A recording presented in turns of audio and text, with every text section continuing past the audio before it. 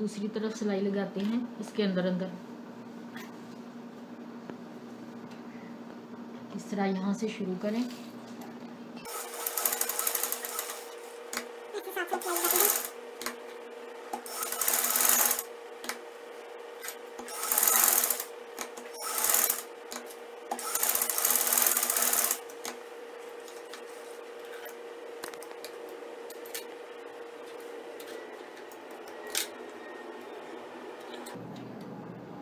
इसी तरह, इस तरफ़ भी सिलाई लगा लें।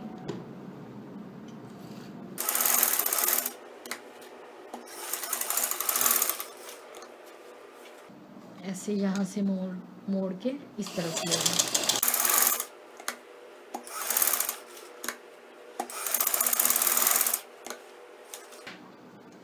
अब इस गले को काट लें, इस तरह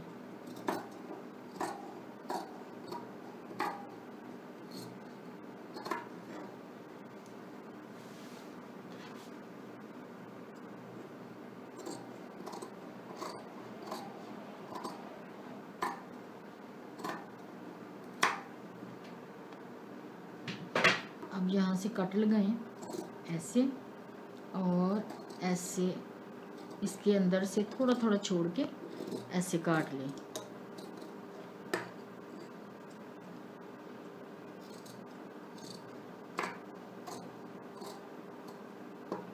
इस तरह, ये देखिए, ऐसे।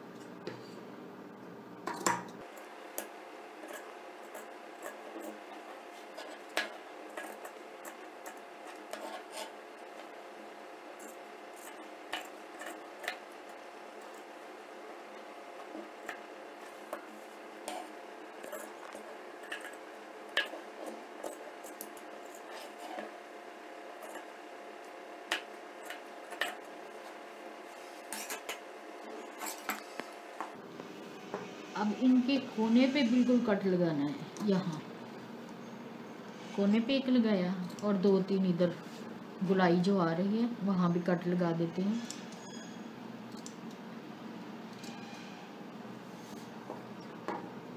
ताकि सही तरह सीधा हो जाए।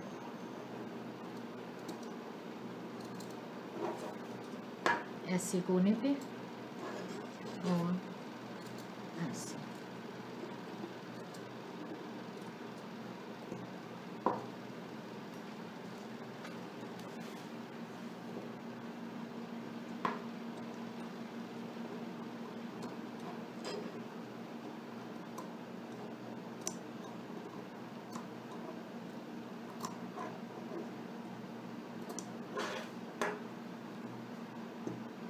अब इस तरफ़ भी ऐसे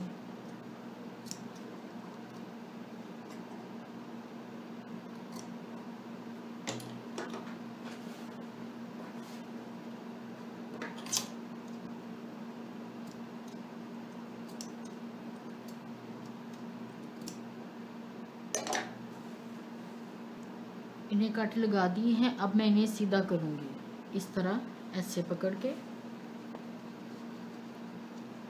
यहाँ से सीधा कर दूँगी।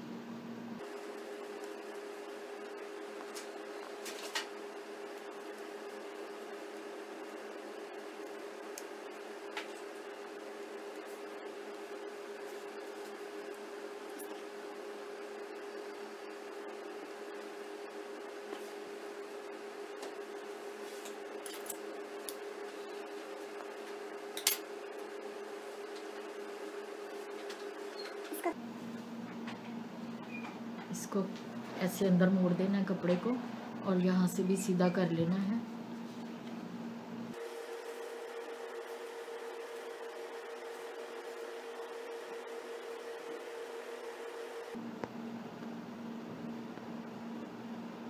ये देखें नोक बिल्कुल ठीक आई है। इस तरह। ऐसे, अब मैं इसे प्रेस करती हूँ दोबारा, फिर आपको दिखाती हूँ।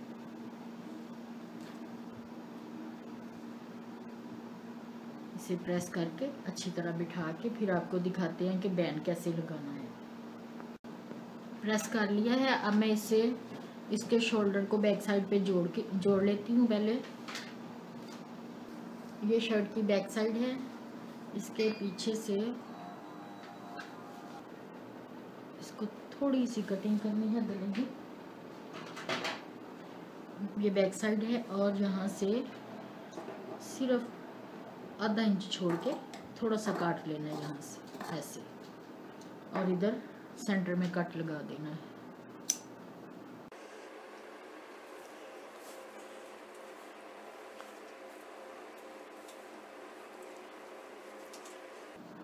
ये जो गला बनाया है मैंने, आप इसको सिलाई यहाँ लगा सकते हैं, कोने पे साइड पे इस तरह बारीक सिलाई लगा सकते हैं।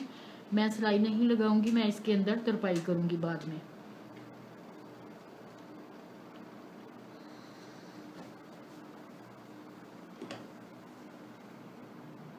ये बैक साइड है और ये फ्रंट साइड। इसको यहाँ ऐसे रख के ऐसे मैं इसे सिलाई लगा लेती हूँ।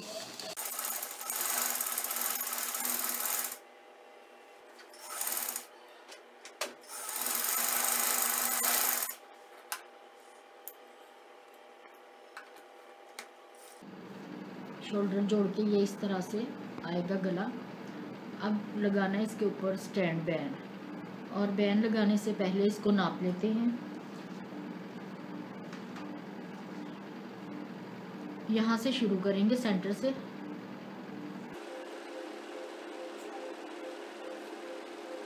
ये 8.5 इंच है। 8.5 इंच इसे ऐसे दोरा करेंगे तो ये डबल यानी कि ये हो जाएगा सेवनटीन इंच। सत्रह इंच आएगा यहाँ तक, ठीक है? अपने बैंड को हमने सत्रह इंच लंबा ऐसे रखना है। ये मेरे पास बैन वाली पट्टी है। इसे ऐसे फोल्ड करके साढ़े आठ इंच तक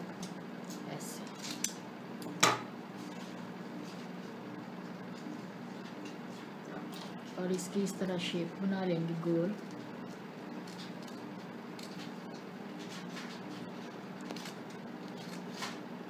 बैन की इस तरह गुलाई कर ली है। अब यहाँ से थोड़ा सा नीचे से छोटा कर देंगे। इसकी चौड़ाई ज़्यादा है।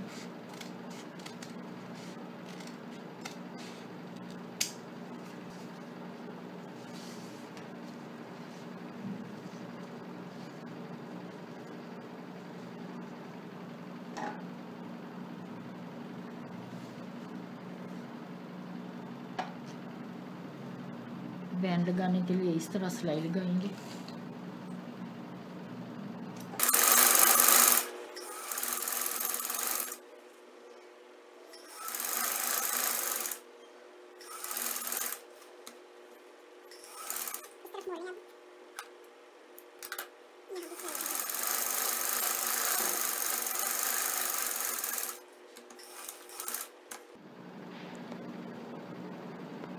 ऐसे कपड़े को फोल्ड करेंगे।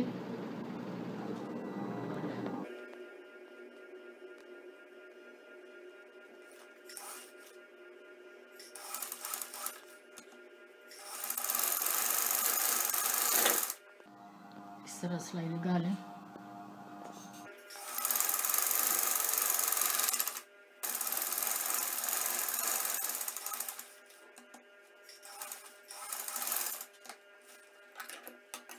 अब यहाँ से आधा इंच कपड़ा छोड़ के ऐसे काट ले।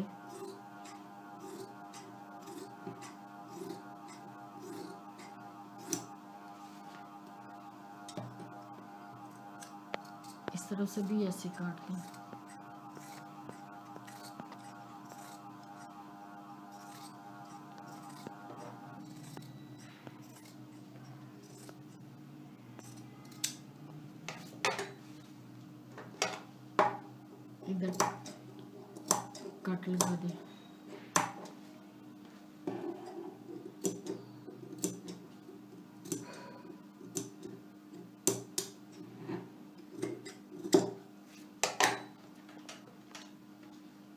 अब इसे सीधा करें, ऐसे।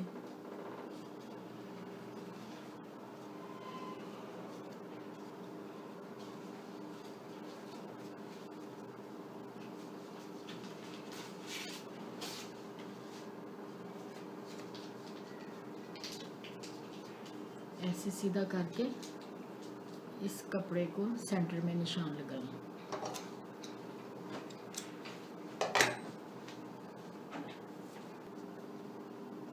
से शुरू कर। ये गले का सेंटर है यहाँ से शुरू करेंगे। ऐसे।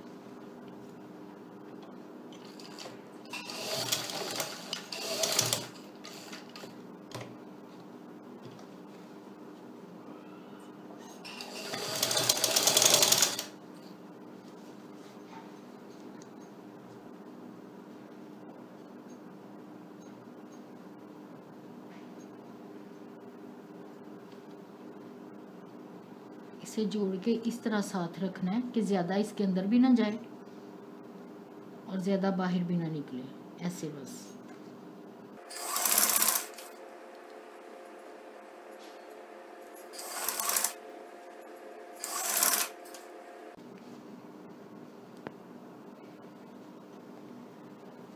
इस तरह सिलाई लगाते जाएँ।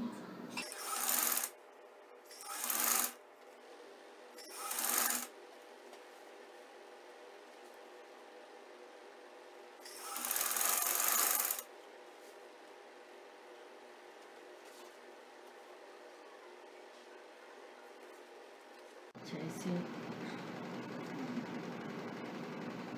यहाँ से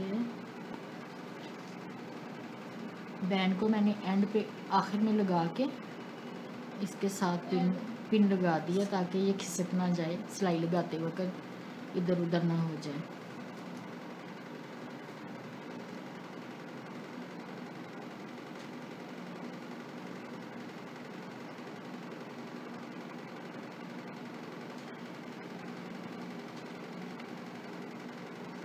इस तरह, ठीक है? अब मैं यहाँ से सिलाई लगाती हूँ।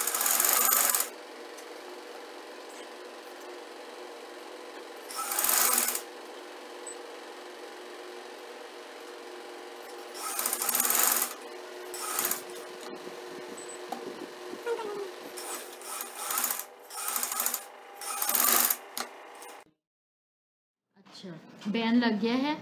और इसे मैंने अंदर की तरफ़ फोल्ड की है। अभी मैंने इसे तुरपाई करनी है। तुरपाई करके फिर आपको इसकी दिखाते हैं। ये सिलाई के साथ भी लग जाता है, लेकिन मैंने क्योंकि गले के अंदर तुरपाई करनी है यहाँ, इसलिए मैंने बैन भी तुरपाई वाला ही लगाया है ताकि ज़्यादा नीट लगे, ठीक है? ऊपर कोई सिलाई ना आए। अब मैं ये इसके अंदर ऐसे तुरपाई करके फिर आपको दिखाती